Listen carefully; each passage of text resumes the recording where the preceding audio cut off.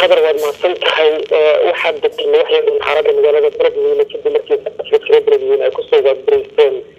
ciidamo hubeysan oo dadka deegaanka loo yaqaan ciidanka macawisleyda kuwaasoo sida la sheegay dabeed ka muujinaya qoraysta ciidamo cusub oo dowladda federaalka ku biiraya islamarkaana loogu talagalay in deegaanadii kooxda al-shabaab laga xoreeyey ay ka howlgalaan. Ciidankan ayaa xirtay waddooyinka muhiimka ee magaalada sida waddada garoonka diyaaradaha aada ee ka baxda xarunta madaxtooyada waddada ee ka timaada xaafada howlwadaaga ee isgoyska ee aada buundaweyn iyo sidoo kale wadooyin kale oo muhiim ah oo isku socodka gaadiidka iyo dadweynaha ayaa kabtiisa ka xirnaa iyadoona hadda weli waddooyinka qaar ay xiran yihiin mana jirto wax waanwaana oo la doonayo in waddooyinka lagu furayo ciidamadani ay dabcan looga qaadayo ciidanka qaarkood saraakiisha hogaaminaysa la hadalna waxay sheegeen inay yihiin ciidanka deegaanka ee macawisleyda loo yaqaana islamarkaana cabasho ay ka muujinayaan sida ay hadalka u dhigeen qaab loo qoray ciidan deegaanka ah oo dowladda federaalka ay ugu talagashay in deegaanadii kooxda al-shabaab laga xoreeyay ay ka howlgalaan islamarkaana ayagoo deegaankooda jooga ay xaquuqdooda ku helaan. Waxay sheegeen in ciidankan qaab dirsi ah oo gudoomiyihii xilka laga qaaday ee gobolka hiiraan ku sameeyey sidaa darteedna ay dabcan cabasho ku muujinayaan oo aysan raalli ka sida waxay u dhaceen iyagoona ee dalbanaya in saraakiisha ugu sareysa dowladda federaalka gaar ahaan militariga ay soo firgeliyaan cabashada ay qabaan.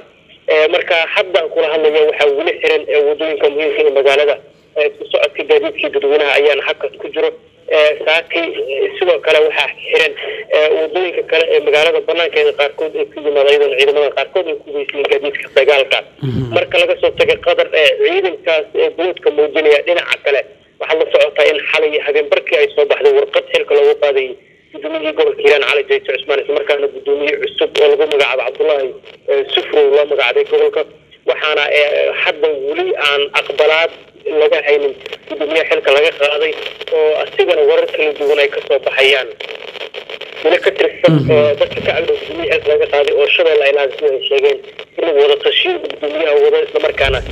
dhowaan jawaab laga heli doono si aadan in dabcan uu aqbalayo xilka qaadistiisa inuu kasoo horjeesanayo waxaad la socotaa carjeegta in dabcan uu qayb weyn ka qaatay howlgaladu ka socday gobolka hiiraan dowlad goboleedka hirshabelle iyadoona magac weyn dabcan ka marka dadka reer beledweyne iyo hirshabellada aad ayay u hadalhayeen dadka soomaaliyeed xilka qaadistiisa iyadoona aan la ogeyn magaca iyo masaf weyn in dabcan uu ka soo horjeesto wadadii ee ka soo baxday. Oo dabcan magaciisa uu hoos u dhici doono iyo inuu aqbali doono nidaamkii sharada lagu soo magacaabay ee maanta xilka lagu qaaday. Ciidamadan la sheegayo inay la wareegeen magaalada beledweyne iyo xilka qaadistii cali jeeta wax xiriira oo ka dhexeeya miyaa jira sidaan ku sheegay ma jiraan ciidankan xilka qaadista cali jeeta wax xiriir oo ka dhexeeya sababtoo ciidankan waxay ka gudubsan yihiin ciidamo militari ah oo dowladda ay qaadanayso oo deegaanada shabaab laga xoreeyay ka howlgelaya oo lambaradooda la siinayo oo xaquuqdooda ay kusoo dhacayso oo tirada lagu qiyaasay ilaa dhowr boqol oo askari kuwaasay sheegeen in qaabka lagu qaatay ay yihiin kuwa jeclaysi ah oo dabcan musuq musuq lagu sameeyey marka cabasho noocaas ayay qabaan mana jirto dhinaca guddoomiyaha xilka laga qaaday wax waran kasoo baxay oo ku aadan aqbalaad iyo diide xilka